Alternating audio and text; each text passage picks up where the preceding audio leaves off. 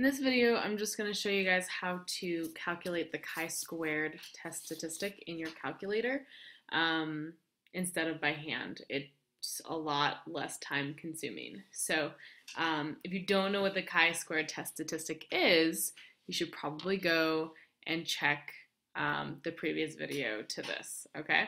Um, but anyways, so we have this example. We have a U.S. Census uh, that has um, you know, 19.1% of people, residents in the US, are 20 or um, 20 to 30.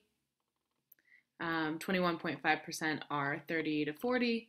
21.1% are 40 to 50, um, and so on, right? So you have this distribution of values from the US, and then they took a random sample of uh, of people and a ran, uh, survey of from the that they took from landlines or something.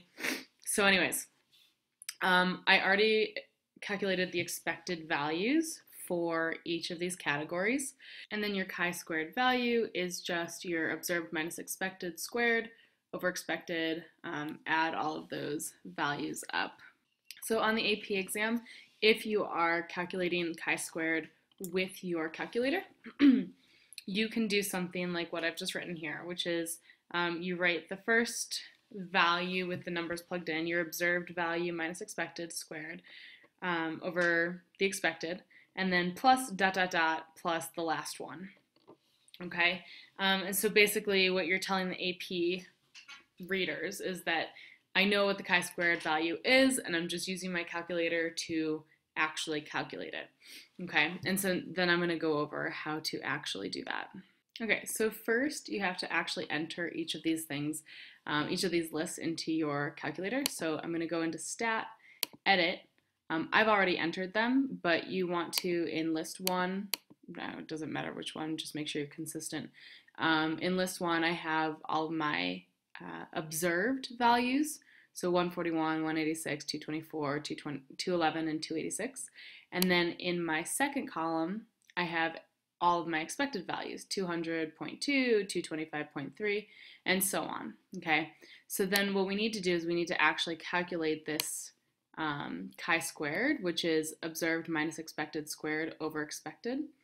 So the nice thing about the calculator is I can go into my list 3 and hit enter, and then what I want in list three is my L1 values, so my list one values, minus my L2 values, my observed minus expected, squared.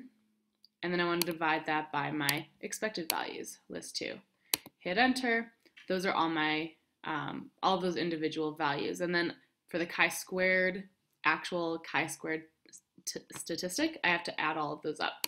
So um, that you can get with um, one var stats. So I go to stat calc, one var stats, um, and then I want to know my list three, calculate. I want to know the sum. So I'm just going to be looking at sigma of x, that's the sum of all of them, 48.13. Then from there you can go to um, a table and find out your uh, probability of getting that chi-squared value or anything more extreme. Or if you're lucky and you have a fancy schmancy calculator, you can just go to stat tests and you find the, if you have, some of the calculators don't have the goodness of fit test, um, but mine does. So I'm going to go to the chi-squared goodness of fit test, hit enter, and then I put my observed values, which were list one, my expected values, which were list two, my degrees of freedom, which was four because I had five categories. Um, and then I calculate. And this one actually gives you your chi-squared, 48.12. Yay, same thing. So we did that right. Um, but our p-value is 8.8 times 10 to the negative 10. That is a very, very, very small p-value. Um, but, so then you have everything right there. Um, and then on the AP exam, you would just report, you know, what your degrees of freedom are, which is 4, and then um, your p-value, which is really small, about 0. Um, Very, very small, very small p value. Um, so then you would conclude um, in context reject or fail to reject the null hypothesis, blah, blah, blah.